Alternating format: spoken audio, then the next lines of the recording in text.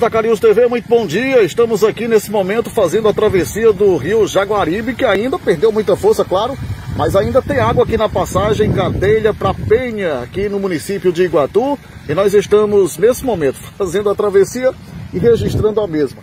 Virou mais curta, né, chefe? A travessia. É mais curta agora, Né? mais menos, velho.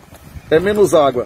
Antigamente essa travessia se fazia ali daquele ponto, olha, você está observando, aí fazia esse trajeto maior aqui, quando tinha mais água, passava por aqui, vinha com a balsa, com a moto, com os pedestres, transeuntes e parava lá à frente, lá à frente, né? Lá naquela última subidazinha com lá de madeira, tá vendo? A última rampa. Na última rampa, exatamente.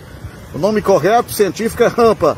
Na última rampa. Depois, né? O rio, como já baixou, essa parte aqui, onde está passando essa motocicleta, já secou, né? Já dá passagem aí a pés enxutos.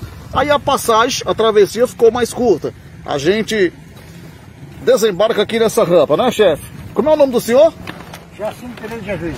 Gessino Pereira de Jesus. Gessino, seu Gessino, há quanto tempo o senhor faz essa travessia aqui nas épocas de, de chuva, de inverno? Tá com 20 anos. Uns 20 anos. Muito bem. Quando o rio está com enchente muito grande, muito forte, dá para fazer ou não? Tem um tempo que para. Nós colocamos motor quando está muito alto. Coloca o motor quando está muito alto, as, as enchentes quando, quando tem muita água. Tá gente bota o motor. Obrigado, meu amigo. Obrigado. Boa sorte, bom dia, bom trabalho.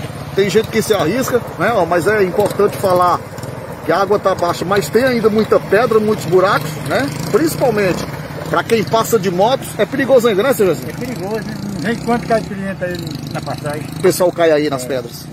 Muito bem. Então vale a pena. Travessiazinha aqui curtinha na balsa e baratinho também, né, Não, aqui eu tô cobrando só dois reais, só pra... Dois reais só para essa travessiazinha pequena, tá sendo- só para não estar em casa parado, né, Silvio? Verdade.